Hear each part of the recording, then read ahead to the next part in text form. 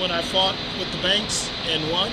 Uh, that was part of us going up to Sacramento and doing what we did up there and talking in behalf of uh, that home, uh, the home. Uh, Owner Bill of yeah, the Rights. homeowner bill of rights.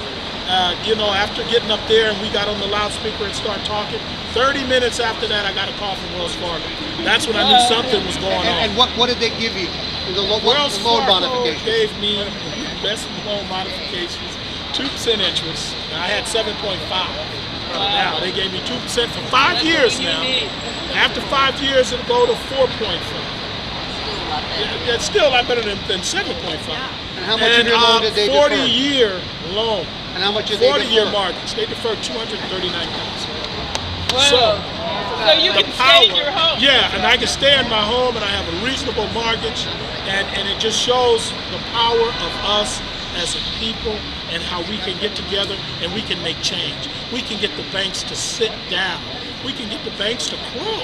We And- can do and- all this. and, us. and they can do it too. They That's can right. afford to do it. They can afford to do the things that they're I- doing. Okay, but the Bernetta- getting in was uh, Warren.